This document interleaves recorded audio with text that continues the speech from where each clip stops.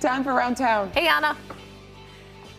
Good morning. We're in the basement of Industry Ales where they have this beautiful speakeasy and they have a very significant mural that Jenny Lewis, local painter, did for them. I want to ask Dan, you said it is a phoenix. Definitely because, Lord, this building has a history with fire. A little bit, yeah. Rising from the ashes. Yeah. Chicago fire rising from the ashes. Our industry coming back from the pandemic, mm-hmm. and then this building actually coming back from a fire. Chetty, Chetty is one of the baddest artists I know. She's incredible. She did the whole room, and yeah, she crushed it. We have the master brewer here. I want to talk to Mike Gretz for a second. Mike, good morning. Hey, good morning. So, what are you trying to do with this beer uh, that is unique because it's being brewed in the loop? Sure, yeah. I, I'm.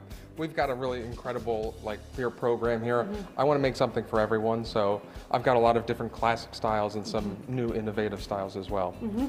What are we trying to do with this speakeasy? Because I thought we were focused on beer. I love the motto that you're creating community one pint at a time. Building, building community one time at a time. Upstairs, downstairs, the whole building. Yeah. Um, the speakeasy specifically, we're trying to have a good time. This is the party room. Uh, Yeah. this is the after hours kind of thing. You're even going to have a stage? Yeah. Live music um, soon-ish. We're almost there. I love it. Okay, so when, uh, that's around town for this morning, guys. It's great to meet you. Thank you. We'll see you soon. Industry Ales on South Wabash next to Central Camera. Back to you.